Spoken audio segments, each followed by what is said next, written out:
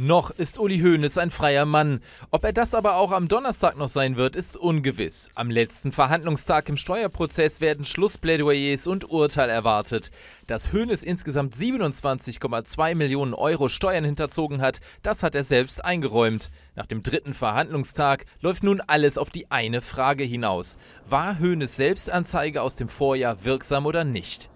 Nach der ursprünglichen ersten Selbstanzeige der vom 17. Januar 2013 erfolgte eine Nachbesserung der Daten. In dieser Nachbesserung tauchten dann weitere Einkünfte auf, die in der ursprünglichen Selbstanzeige nicht gemacht wurden. Aus diesem Grund war die ursprüngliche Selbstanzeige schon unwirksam. Höhnes Verteidigung sieht dies anders. Zum Zeitpunkt der Selbstanzeige hätten nicht alle Unterlagen der Bank vorgelegen.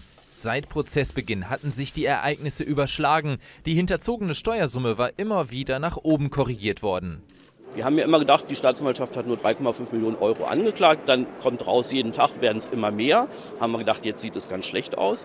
Aber die Verteidigung hat jetzt doch noch mal deutlich gemacht, sie haben in der Selbstanzeige selber einen noch viel höheren Betrag eingeräumt, sodass noch ein erheblicher Sicherheitspuffer ist.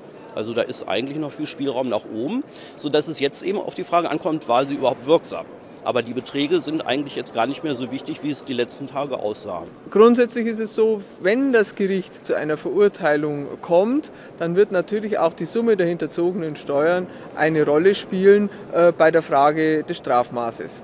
Und da ist es durchaus von, äh, ein Unterschied, ob es um 3,5, um 18,5 oder um 27,2 Millionen Euro geht.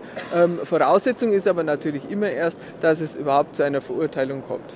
Zunächst aber muss das Gericht ein Urteil sprechen. Wie auch immer es ausfällt, der 13. März 2014 wird für Uli Hoeneß ein schicksalhafter Tag werden.